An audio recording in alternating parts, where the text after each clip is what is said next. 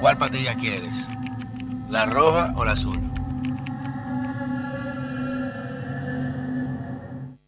Señores, bienvenidos a otra entrega de este su canal de YouTube, Pedro Manuel Casals, el cuarto bate. Recuerden siempre suscribirse, encender la campanita y darle una galleta roco al ingeniero nuclear que nos pone a decir todo esto siempre al inicio, que estamos en Apple Podcasts, Spotify, YouTube, o sea que puede escucharnos en cualquier parte del país, en cualquier momento.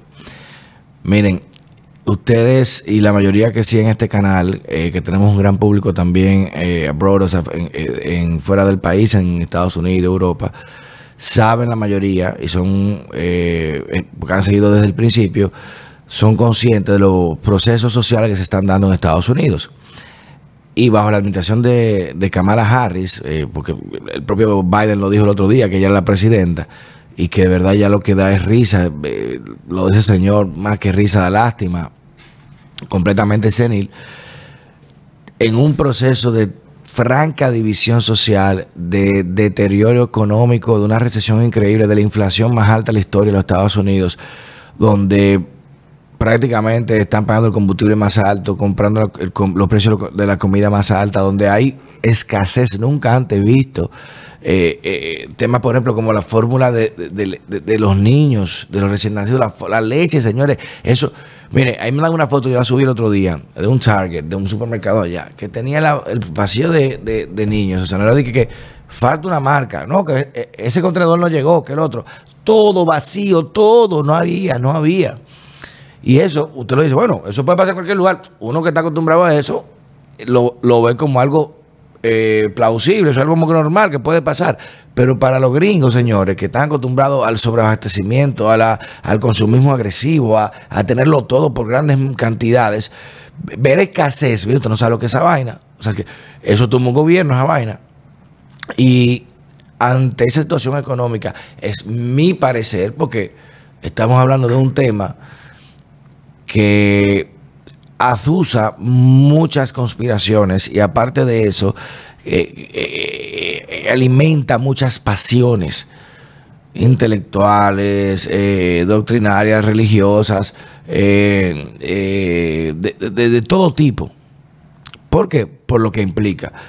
Y que tanta casualidad o causalidad de que en medio de la peor crisis económica de ese país, de la gestión de gobierno más terrible jamás vista, tengan que proceder a liberar archivos desclasificados y testimonios de oficiales del Pentágono admitiendo el fenómeno ovni o los famosos UFO.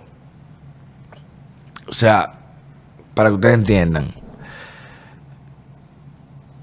no estamos para ningún concepto cuestionando la validez del fenómeno, pero sí se sabía desde antes. Porque la gente no. Hay muchísimos eh, documentales y específicas con, evidencia muy comprometedora de participación oficial. Y lo hemos hablado aquí en el mismo canal de ingeniería inversa y otros temas. Incluso yo siempre cito eh, la referencia de la, de la guerra espacial norteamericana y rusa que Bernard von Braun, que se lo llevó Kennedy en Operation Paperclip, en, esa operación donde los rusos y los americanos se, se dividieron los, cerebros del, mundo, el cerebro alemán, del Tercer Reich, los, tigres más brillantes, le dieron perdones de guerra, o perdones a cambio de que fueran a trabajar para ellos y revelaran todos sus secretos. Y siempre he dicho que no hubo carrera espacial entre Rusia y Estados Unidos, una carrera espacial alemana. Los alemanes llegaron a la luna, no fueron los rusos ni los Estados Unidos, los americanos alemanes.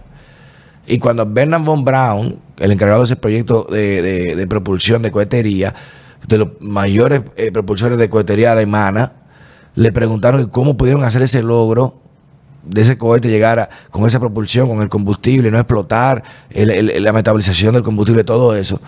Él dijo, tuvimos ayudas de otros mundos. No lo digo yo, búsquenlo ahí tómelo, interprétalo como usted quiera interpretarlo. Ah, que lo dijo para no revelarlo, que esto, como sea, pero lo dijo.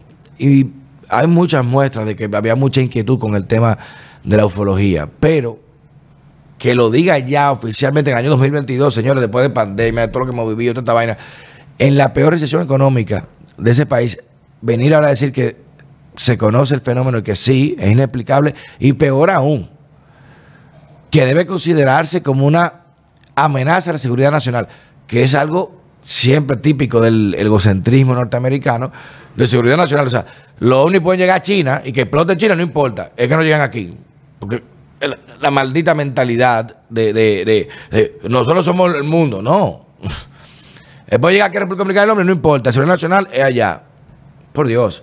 Pero yo concuerdo con eso porque incluso lo decía Stephen Hawking, que tratar de hacer contacto con una sociedad avanzada sería como que los taínos llamaran a Colón. Hey, o, llamaran a, Cortés. Vengan para acá, los incas, fulano, vengan aquí. O sea, tú te llamando a una sociedad avanzada, te estás invitando a superarte, porque ya, ya te supera. Y que sería un proceso prácticamente de, de cuasi extinción de los seres humanos por nuestros recursos naturales. Lo, dice, lo decía Stephen Hawking, una de las mentes más brillantes de nuestro siglo. Y que el Pentágono lo haga de esta manera, en un disclosure nunca antes visto de este fenómeno que ya usted sabe que va a, hablar, va a dar de querer hablar por mucho tiempo. Y ahora se van a investigar cuáles pilotos, cuáles son los fenómenos, desde cuándo hay récord, registro, el proyecto eh, Magic 12, el proyecto Blue Book, todo eso investigarse a ver qué constancia hay, que si se negó, que no se negó, que todo tiene. Y eso aleja o prácticamente eh, alivia la presión ahogante, asfixiante que tenía sobre su espalda el gobierno de Estados Unidos y que aparte de tener su respaldo progre quebrado, porque ya los BLM están peleando con los antifa, los feministas con los BLM, hay todo ese lido, se ha metido con los ricos que eran parte del soporte progre comunicacional que tenían. Jeff Bezos, Bill Gates. O sea que, aparte de todo, que está esta crisis económica, se ha metido con los ricos. Los ricos están ya, ¡Uy, manito! ¿Qué es lo que te pasa? La inflación no culpa de nosotros. Cuidado. Eso es lo que no querían Biden, cojan Biden. Y entonces liberan estos archivos.